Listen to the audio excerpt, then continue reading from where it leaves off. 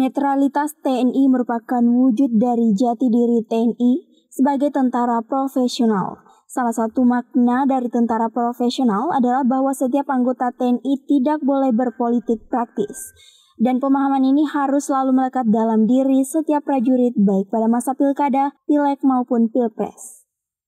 Politik TNI adalah politik negara bahwa setiap anggota TNI harus mengikuti kebijakan politik negara. Hal tersebut diungkapkan Dandim 1420 Sidrap, Lieutenant Infantri JP Situmerang Esos, saat membuka pelaksanaan pembinaan netralitas TNI dalam pemilu dan antisipasi Balatkom di Aula Makodim 1420 Sidrap, Kelurahan Majeling Watang, Kecamatan Maritengai, Kabupaten Sidrap pada Rabu 10 Juni 2020 pagi. Kegiatan yang dilaksanakan ini merupakan program bidang teritorial dan dilaksanakan oleh semua satuan kewilayahan khususnya Kodim.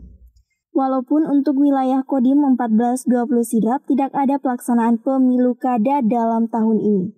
Lanjutnya, namun materi tentang pembinaan netralitas ini tetap kita laksanakan karena itu merupakan hal yang sangat penting, sehingga perlu terus diingatkan kepada kita semua termasuk ibu-ibu Persit karena Persit merupakan bagian dari keluarga besar TNI, harus senantiasa mengingatkan para suami untuk selalu bisa netral.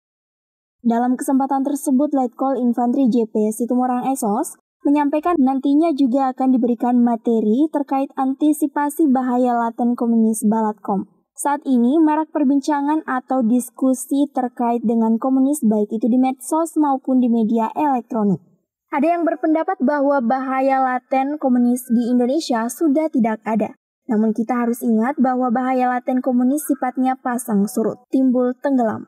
Ketika ada kesempatan atau peluang bahaya laten itu akan muncul. Namun bila terdesak dia akan tenggelam untuk sementara. Dan dimenambahkan kita harus menjaga keluarga kita, tetangga kita agar jangan sampai terpengaruh bahaya laten komunis ini. Terkhusus kepada anak-anak muda karena mereka sangat rentan dan gampang terpengaruh dengan perubahan.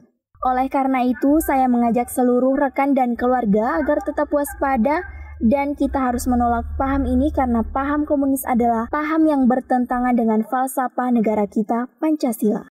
Dan perlu diingat bahaya laten komunis itu tidak akan pernah hilang terlihat dalam kegiatan tersebut dihadiri oleh Ketua Persit KC Cabang 44 di 1420, Nyonya Yohana JP Situmorang, beserta pengurus, para perwira staf, para dan ramil, dan personel Kodim 1420 Sidram. Erwin Parolai, AJP News.